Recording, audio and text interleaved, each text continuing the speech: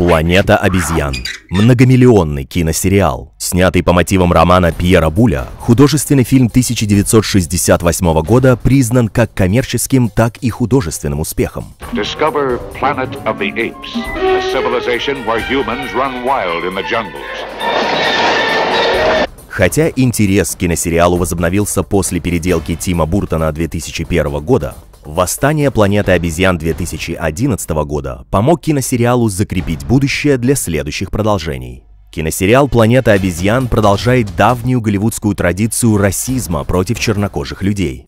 От Кинг-Конга 1938 года до могучего Джо Янга 1998 года черные изображены в виде обезьян.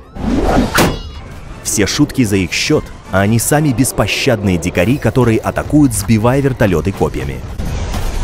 В большей части новых серий черные изображены слабыми и беззащитными против грозящего им геноцида. Управляет ими фармацевтическая корпорация Genesis, которая, как и американское правительство, проводит над ними разные научные опыты. Одна черная обезьяна смогла сбежать от всего этого безумия, но была застрелена, что символизирует зверскую жестокость полиции. Когда черных захватывают в плен, их сажают в клетки, что показывает политический подтекст о несправедливости юридической системы.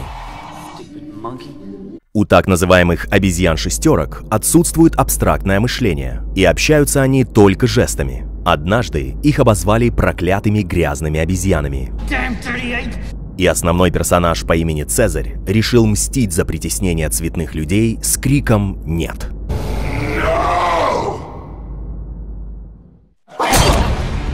Еще один персонаж, который боролся против системы превосходства белых по имени Коби. Он тоже стал шестерить, чтобы казаться обезьяноподобным, и стал отстреливать белых супремасистов, пока те были отвлечены его выступлением.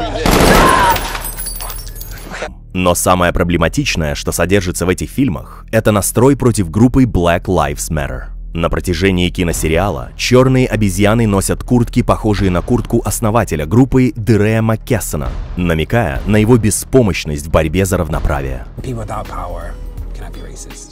Если Голливуд хочет избавиться от продолжительной традиции расизма против чернокожих людей, необходимо избавиться от изобразительного насилия против них. Дайте Цезарю то, что принадлежит Цезарю. Дайте Богу то, что принадлежит Богу.